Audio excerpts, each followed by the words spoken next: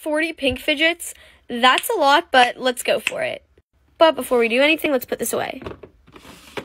Okay, now we can start. In this basket, I have a pink spike ring and a pink spiky ball. So one and then two.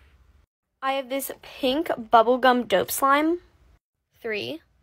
I have a ton of pink mochis.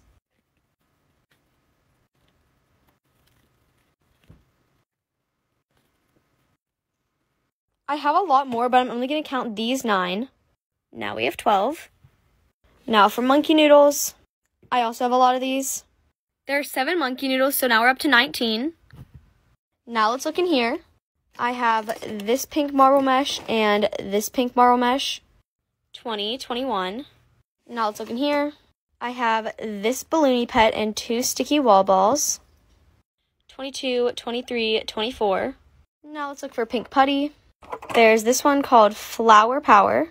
This one called Grateful Heart.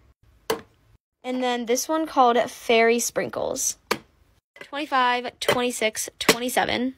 Now let's look in the dimples. Now let's look in here. I have this mini hexagon poppet. 28. I have this owl poppet ball. 29. Let's look in the dimples. I have this spinning octopus that also pops. 30. I have this Lil Dimple. 31. And then I also have this mini glittery Simple Dimple. 32. I have this strawberry. 33. I have this watermelon. 34. I have this dinosaur. 35. I could keep going, but let's move on. It doesn't look like there are any pink poppets in here. Let's look in the big putty drawer. I have this putty called Rose Lagoon. 36. I also have this putty called Princess Pony. 37. And then that's it. I have a pink tangle, 38. A pink pop tube, 39. And then this pink bubble Nee Doh, 40.